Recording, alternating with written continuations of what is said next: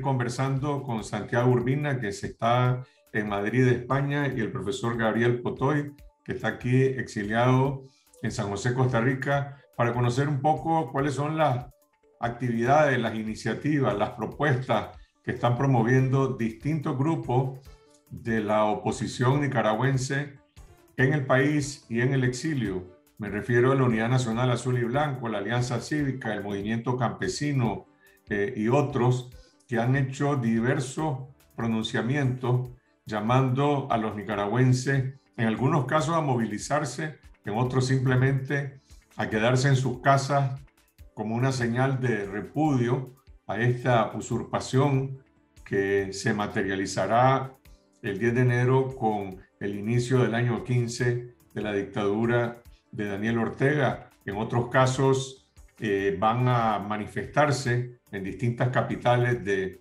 América Latina, de Estados Unidos, ciudades de Estados Unidos y también de Europa. Una situación que también está eh, afectada por el contexto del rebrote eh, mundial que está ocurriendo con la COVID-19, con esta nueva variante de Omicron que tiene una, unas capacidades de propagación que han sorprendido a todos los científicos en todas partes del mundo. Y eso está ocurriendo en Nicaragua, en Costa Rica, en Estados Unidos, en España, en todas partes del mundo. Están con nosotros, eh, están con nosotros ya el profesor Gabriel Potoy y Santiago Urbina. Gracias por acompañarnos en Confidencial Radio. Santiago, Gabriel, un gusto tenerlos con nosotros.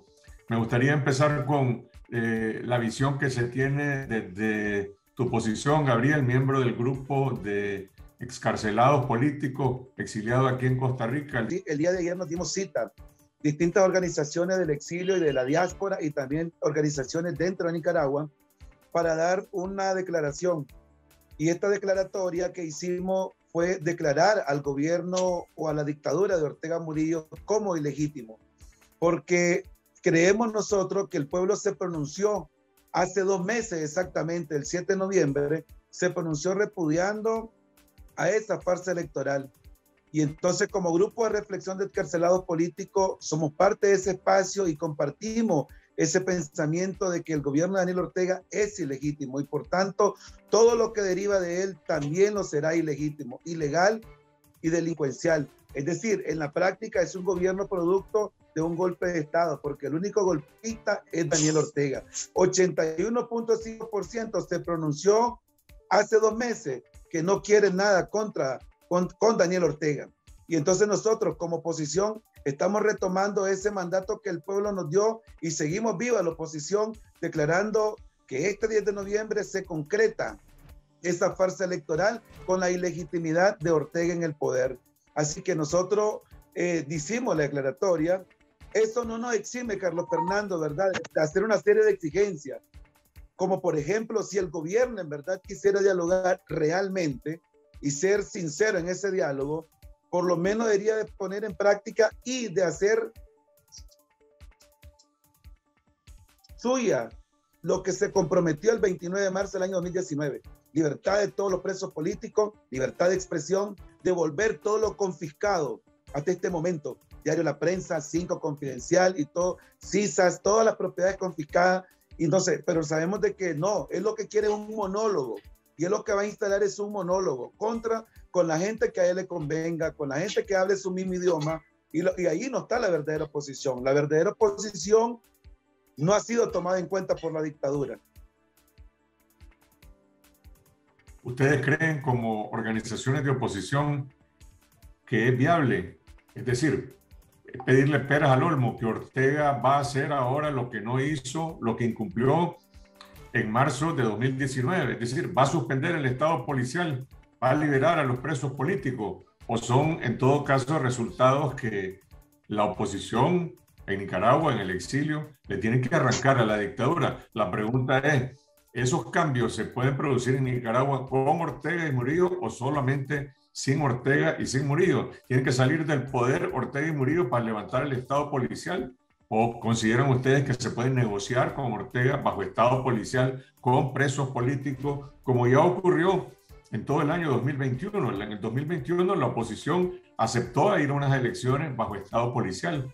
aceptó ir a unas elecciones con presos políticos y el resultado fue más presos políticos y un Estado policial endurecido. Entonces, ¿cómo, cómo visualizan en todo caso esta estrategia al iniciar el año 2022? Un diálogo como lo que él está proponiendo para después de, la, de la, ilegitimidad de él, ¿verdad? Del 10 de, de enero, de que él se auto se autoimponga la banda presidencial, eso no, eso no, eso no, eso no es diálogo. Eso ni siquiera es un mamotreto de diálogo. Eso es algo que él quiere montar. Pero sí, si él verdaderamente quiere, quiere reconducir por la vía cívica, esto es una resistencia cívica que no tenemos los opositores, entonces hay que hacer un preámbulo. Y el preámbulo es cumplir con lo que firmaste con la oposición nicaragüense en marzo del 2019. Pero con presos políticos, ahorita, así como está el contexto, con presos políticos, con persecución, con asedio, con estado policial, con el ejército sumiso totalmente a, la dictadura, con policía prácticamente como sirvientes de la dictadura, eso no es ningún diálogo, porque estamos con la bota en el cuello, el opositor, la oposición. Pero sí, si él realmente quiere dialogar, ok, porque acordamos en el 2019 una ley de amnistía que se cumpla, acordó cese de la represión que se cumpla, que se cumpla que también nuestros líderes que están encarcelados por más de tres meses salgan, porque no, en Nicaragua no hubo votación, no hubo elección, hubieron votaciones, nuestros líderes, cualquiera de ellos le hubiese ganado a Daniel Ortega, cualquiera de ellos, y más bien recrudeció recrudeció. Y nosotros, como grupo de reflexión, hemos denunciado que tenemos 50 hermanos que nuevamente fueron apresados por la dictadura. Y dentro de ellos, el último asesinato del hermano Marlon Castro en Mulucucú. Con ese sistema no se puede dialogar. Con esa dictadura no se puede dialogar. En esas condiciones no. Pero si vos realmente querés entablar algo serio, algo que realmente se tome, eh, que la comunidad internacional lo vea, que como un buen gesto, entonces, hagamos un preámbulo y ese preámbulo será las condiciones que vos firmaste el 29 de marzo del año 2019. Porque si solo suelta los presos y quiere ir a dialogar, no ha hecho nada. Únicamente nos ha retrocedido al año 2019, que así estuvimos en junio del 2019.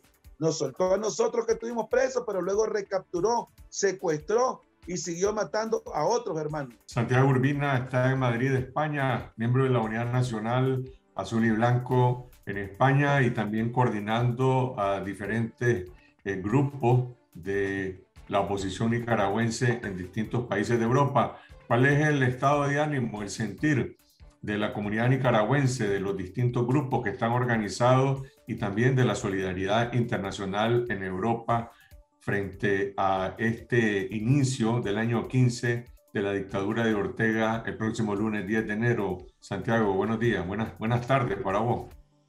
Buenos días, buenas tardes, Carlos Fernando. Eh, primero voy a hacer una, una, no es una aclaración, sino un poco eh, la manera que se ha construido el, trabajo aquí en Europa con los diferentes grupos de nicaragüenses eh, es de una forma muy horizontal creo que eh, no, la democracia, cuando se vive en democracia, como que se te pega. Entonces ha sido bastante fácil, a decir verdad, eh, poder colaborar, poder trabajar y no hay, digamos, una coordinación o una persona que se pueda autollamar coordinador o coordinadora de todo lo que está ocurriendo. Es muy orgánico. Eh, esperamos también verlo en Nicaragua. Ahora, atendiendo a tu primera pregunta, mira, eh, la resiliencia del pueblo nicaragüense es algo impresionante, eh, dentro de Nicaragua como fuera de Nicaragua. Eh, hay momentos, ¿verdad?, en los que la gente está más activa, hay otros momentos en que está menos activa, pero lo que es cierto es que la gente no ha dejado ni un solo momento de estar luchando por esa libertad que todos anhelamos. ¿Qué es el llamado que está haciendo eh, las organizaciones de nicaragüenses, eh, tanto en diáspora como, como exilio? Y aquí también incluyo a las organizaciones de solidaridad, que son personas de Europa que han estado muy involucradas con todo lo que ha estado ocurriendo en Nicaragua en los últimos 40 años y que siguen interesadas en apoyar a Nicaragua y su lucha por la democracia. eh, lo que quieren es unidad, es lo que nos está pidiendo también el pueblo allá dentro de Nicaragua. Y no es unidad alrededor de siglas, no es unidad alrededor de una ideología, no es unidad eh, eh, en el estricto sentido político de la unidad. Estamos hablando de una unidad de propósitos.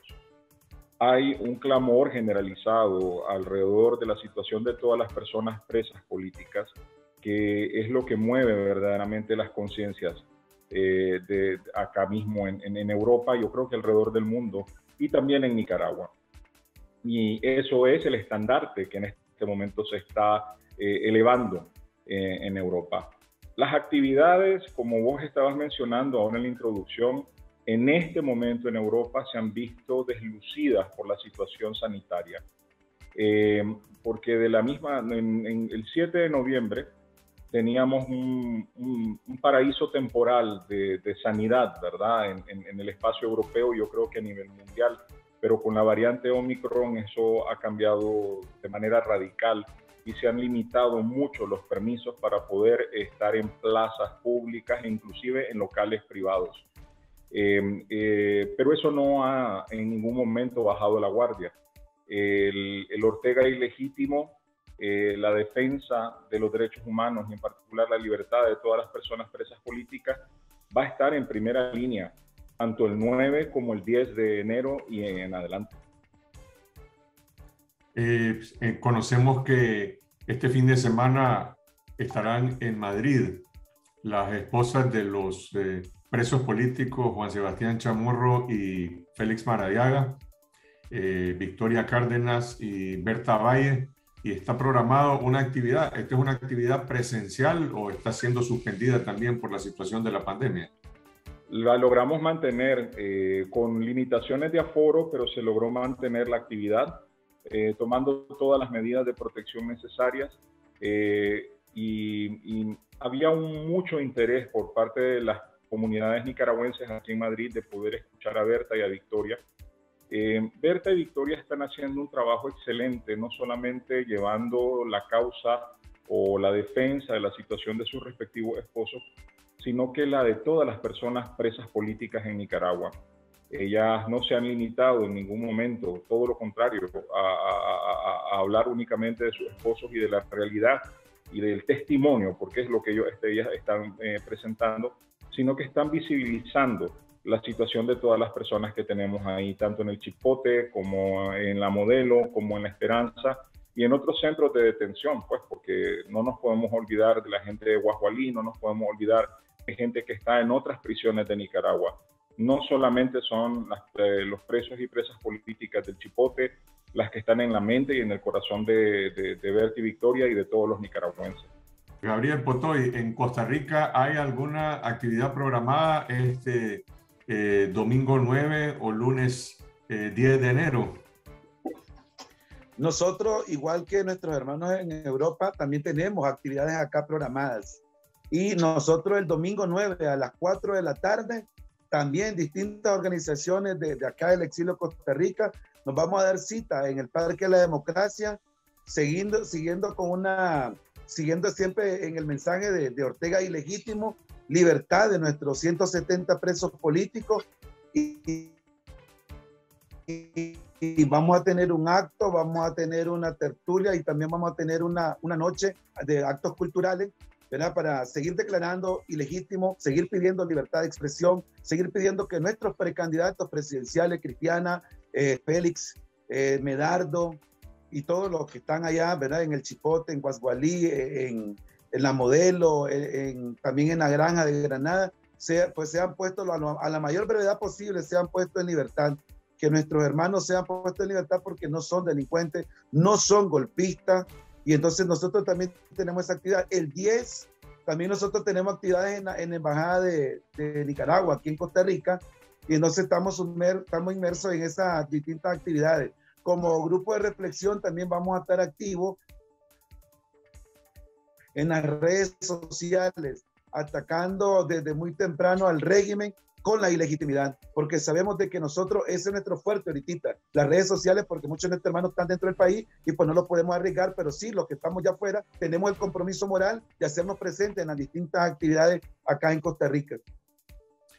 Lo que la gente pregunta, Santiago, es en Nicaragua hoy, bajo esta condición de represión y de estado policial, que no es que se va a suavizar, a suspender después del 10 de enero, por el contrario, todo indica que tiende a reforzarse. Es decir, no es que después del 10 de enero se restablecen las libertades en Nicaragua, sino que Ortega las seguirá restringiendo como única manera para poderse mantener en el poder. En esas condiciones, ¿cómo se puede recuperar los espacios de la oposición? La mayoría de los líderes están en la cárcel o están en el exilio. Si se puede hacer una movilización en San José, Costa Rica, en Madrid, en Washington, en Los Ángeles, en Miami, en México, en distintos lugares, eh, cómo recuperar esos espacios de libertad en Nicaragua bajo este estado de represión. Yo creo que tenemos que apostar, Carlos Fernando, a, lo, que, eh, a lo que ya está ocurriendo, ¿verdad? Y esto no es que estamos inventando en ningún momento la rueda. Eh, todo lo que es la unidad orgánica del pueblo nicaragüense es real. Y el fortalecimiento de esa unidad orgánica en contra de la dictadura es eh, lo que nosotros necesitamos apuntalar. ¿Y a qué me refiero con el fortalecimiento de la unidad orgánica? Eh, yo creo que hay maneras, hay posibilidades, más en este siglo XXI, para poder hacer ya no solamente activismo, sino hacer democracia, hacer eh, política, porque yo sí reivindico la palabra política como una palabra noble, como una palabra buena, no con la connotación que tantos años de sinsabores y eh, traiciones eh, eh, eh, le, han, le, han, le han acoplado a la palabra política en Nicaragua. El fortalecimiento de los territorios, que es algo en lo que está trabajando, y lo puedo decir, la Unidad Nacional Azul y Blanco, pero también lo están haciendo otras organizaciones, es algo primordial. Efectivamente, no se puede hacer de una manera fácil con las condiciones que hay ahora mismo en el país. hay algo muy importante que me gustaría sacar a colación en este momento. Yo creo que Ortega, no creo, Ortega a partir del 10 de enero se está enfrentando a una situación que es completamente nueva para él, que es el hecho de gobernar sin, el, sin la legitimidad eh, de los principales actores internacionales. Eh, él siempre que ha gobernado Nicaragua lo ha hecho con la legitimidad. La revolución de los años 80 logró legitimidad eh, porque las principales democracias del mundo, muchos de los principales países de América Latina reconocieron y apoyaron ese esfuerzo. Cuando recuperó el poder Ortega en el 2006, también lo hizo utilizando los mecanismos democráticos que tenemos, teníamos en Nicaragua en aquel momento. pero, sin embargo, ya en este momento ya él no puede hacer uso y usufructo de ese beneficio que ha venido teniendo por tanto tiempo. Yo creo que esto también nos trae a un nuevo tablero eh, de las relaciones internacionales y cuando hablo de las relaciones internacionales no me estoy refiriendo únicamente a esas cartas rimbombantes que pueden salir de una cancillería, me estoy refiriendo inclusive a temas eh, que tengan que ver inclusive con el encaje del Estado de Nicaragua en eh, las instituciones internacionales, en las instituciones financieras internacionales y en otros espacios que sí verdaderamente podrían afectar eh, eh, cambiar la deriva de lo que estamos observando. La pregunta sigue siendo cómo se conecta ese cierre de los espacios internacionales, esa condena con la situación interna, porque en el ámbito, digamos, de la vida cotidiana, la gente tiene que trabajar tiene que comer, eh, las empresas están, están asfixiadas, pero de alguna manera también tienen que mantener una relación con el Estado, tienen que seguir exportando. Eh, los nicaragüenses están sobreviviendo principalmente por esos más de 2 mil millones de dólares en remesas familiares que se están enviando eh, desde España, desde Estados Unidos, desde Costa Rica, desde Panamá, desde Canadá, desde distintas partes. Y bueno, ¿qué pasa en este momento en Masaya, Gabriel, en el departamento de Masaya, en, los municipios de Masaya, que fueron tan combativos en los primeros meses de la insurrección de abril y que han sido también de los más golpeados, y que han sido también de los más encarcelados, algunos de los líderes que surgieron de estas protestas y otros que también se encuentran en el exilio como tu persona. Mire, pudiéramos decir quizás, así como dijo Santiago al inicio, ¿verdad? De que en estos momentos estamos pasando por un bajón un poco de las energías, pero eso no significa de que estamos totalmente silenciados o acabados. No, cada cosa bajo el firmamento tiene su tiempo. Este es el tiempo de estar en el exilio, estar en la cárcel y desde el exilio hacemos resistencia. En Masaya, por ejemplo, se sumaron hace dos meses, el 7 de noviembre, a decirle no a la dictadura. Desde aquel 18 de abril hasta el 7 de noviembre, 30 meses, 19 días después, así como dijo Santiago, el pueblo sigue en resistencia. Y el mensaje es, no queremos nada con la dictadura. Masaya, por ejemplo, nosotros hemos visto de que la gente está bastante apagado, está bastante resguardándose, en silencio. El silencio no quiere decir miedo, el silencio es prudencia, porque ahí están las voces de hace dos meses diciendo no queremos nada con la dictadura. Nosotros como oposición hemos retomado esa, esa, esa, esa orden que el pueblo nos dio, ese rechazo que le dio a la dictadura y le decimos, aquí estamos vivos a pesar del asedio, a pesar que nuestros precandidatos están presos, a pesar de que el gobierno ha querido silenciarnos, seguimos vivos en la oposición.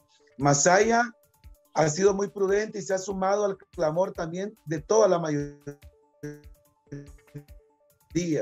diciendo no, no más, no, no, no queremos más dictadura. Imagínense que no solamente como población, sino como iglesia, el Colegio Salesiano, ahí en Masaya, el Padre Pedro y Magdalena, enfrente le han puesto a paramilitares y aún así siguen ellos apoyando y acompañando al pueblo en ese mensaje que ellos tienen como, como nuestros pastores, en diciendo, no importa estar asediado, no importa estar secuestrado, no importa estar en el exilio, pero seguimos. Y de que se van a ir, se van a ir. Solo que les va a llegar su tiempo porque para cada cosa, como dice el Eclesiastés, hay un momento. Y este es el momento quizás de estar con pronunciamiento, que no los vamos a votar. Es posible, pero sabemos de que todo lo que pasa en economía, todo lo que pasa en, Nicaragua, el único culpable es Daniel Ortega y Rosario Murillo por ser egoístas, por estar aferrados a un poder y, y, poder, ellos que tanto se jactan de decir que el pueblo es presidente, ya no, el pueblo ya dejó eso, déjense ese tipo de, de, de, de populismo, porque el pueblo no es presidente, eso es mentira. Nosotros como maestros en las escuelas nos comunican el acoso que tienen en las aulas de clase con los docentes, los maestros despedidos injustamente. Entonces, no hay nada de eso. Eso, ese es un populismo que quieren vender, quieren vender una normalidad en el país que no existe. ayer, por ejemplo, día de, Reyes Magos, Monimbó ha sido un, un, pueblo y un barrio muy tradicional, las calles vacías. Y eso no es común. Nuestro barrio no está normal, nuestra ciudad no está normal. Que mucha gente se hace y no solamente los simpatizantes de la democracia, de la causa azul y blanco, los que quieren un cambio en Nicaragua, sino los propios que están vinculados al régimen, es cuánto va a durar esta dictadura que el próximo lunes inicia su año 15. Se sabe que inicia y que Ortega se ha autoconferido un mandato de cinco años, pero ¿quién puede brindar alguna certeza, alguna garantía de que va a terminar en el poder Ortega o Murillo o alguno de sus descendientes en esta dictadura dinástica?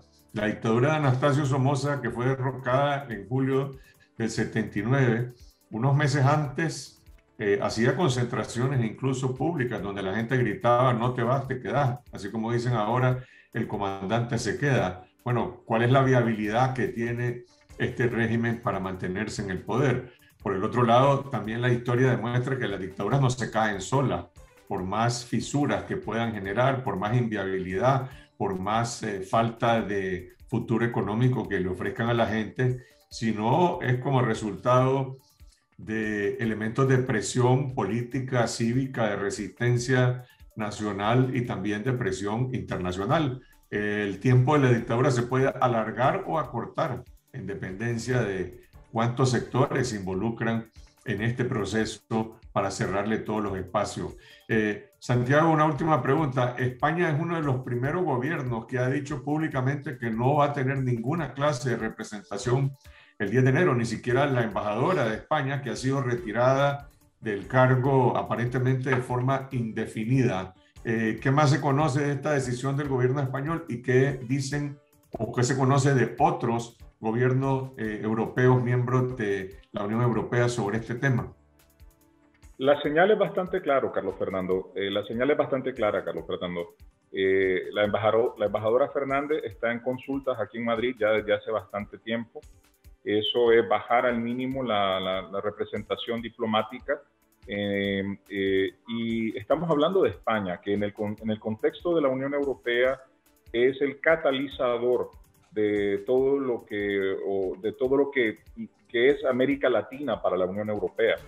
Eh, y esa voz de España en la Unión Europea te puede dar algunas claves de lo que van a estar haciendo los otros 27 Estados miembros.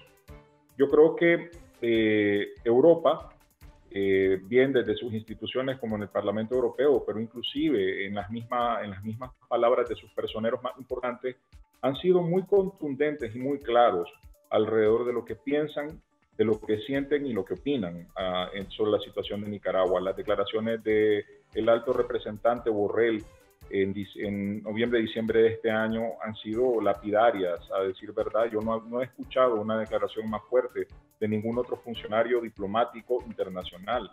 Eh, las resoluciones del Parlamento Europeo han sido categóricas en cada momento. También estamos viendo, estamos previendo inclusive eh, ya no solamente señales diplomáticas, sino que también pronunciamientos por parte de algunas de las grandes democracias eh, del mundo. Eh, creemos que Ortega va a tener eh, un corrillo eh, el 10 de enero, probablemente con algunas de las de, los gobiernos autocráticos que en este momento están, digamos, en una nueva arremetida contra las libertades alrededor del mundo. Es eso de lo que se va a rodear. no esperamos ver ni siquiera de América Latina y de América Central, inclusive unas representaciones al mayor o al más alto nivel. Yo creo que lo que hay es mucha distancia. Yo quiero rescatar algo de tu comentario anterior, Carlos Fernando, que me parece sumamente importante. Es que mm, efectivamente ninguna dictadura se cae sola. Y yo creo que hay un compromiso, como bien lo decía el profesor Putoy, de todas las organizaciones de opositoras nicaragüenses, organizaciones del exilio, de la diáspora, a ir poco a poco convergiendo en, una, en un solo puño, ¿verdad? Para poder eh, efectivamente llevar eh, las ilusiones del pueblo nicaragüense, que no son ilusiones, son las demandas de un pueblo entero, a, que, para que se materialicen.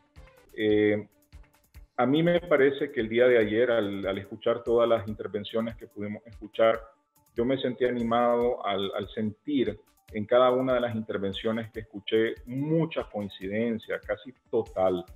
Eh, eso yo lo aplaudo porque en un contexto donde todo lo que era la oposición democrática de Nicaragua ha sido básicamente eliminado, en donde la atomización de las fuerzas políticas es total, comenzar a ver esa confluencia no alrededor de siglas, no alrededor de nombres, no alrededor de liderazgo, sino alrededor de temas que son del interés del pueblo nicaragüense, es un gran paso que tiene que ser celebrado y que tiene que ser fortalecido.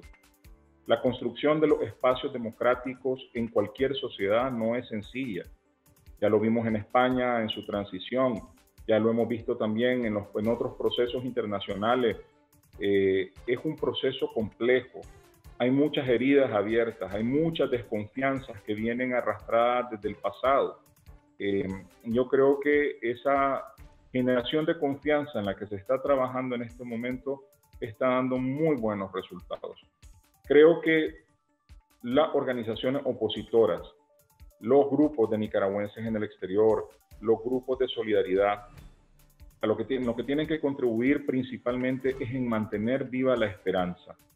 sí se puede vivir en democracia, sí se puede vivir en libertad. Gracias, Santiago Urbina, desde Madrid, España, y profesor Gabriel Potoy en San José, Costa Rica. Gracias a toda nuestra audiencia.